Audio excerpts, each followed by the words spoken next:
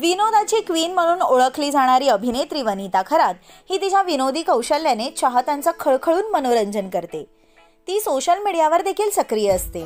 अशातच तिने सोशल मीडियावर काही दिवसांपूर्वी प्रेमाची कबुली दिली आणि आता तिचा प्रियकर म्हणजेच सुमित लोंढे याने देखील नुकतीच तिच्यासाठी खास पोस्ट केली आहे.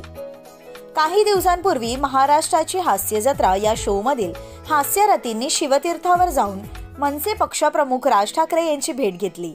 आणि तेव्हाच वनितासोबत सुमित देखील गेलेल्या फोटोमध्ये पाहायला मिळतोय. तेव्हा त्याने राज ठाकरेंसोबतचा एक फोटो पोस्ट केलाय. काय लिहू कसं रिॲक्ट करू काहीच कळत नाहीये. आणि त्याला कारण पण तसंच आहे. जे स्वप्न मी लहानपणापासून बघत आलो ते सत्यात उतरलं. ह्यावर अजून माझा विश्वास बसत नाही आहे. मी तासन तास राजसाहेबांच्या घरासमोर बसून आपल्याला कधी या घरी जायला मिळेल ह्याचा विचार करत बसायचो.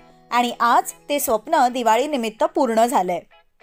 त्यांचं भेटणं बोलणं माझं सतत त्यांना बघत राहणं त्यांचं घर फिरणं त्यांच्या कलेवर आणि कलाकारावर असलेलं प्रेम त्यांनी सांगितलेले किस्से हे सारे मी कधीच विसरू शकत नाही.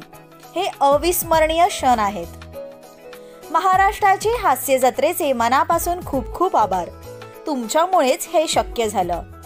Thank you so much Vanita. अशा भावना त्याने सोशल मीडियावर शेअर केल्या. तर त्याच्या या पोस्टवर अनेक चाहत्यांनी कमेंटचा वर्षाव केलाय.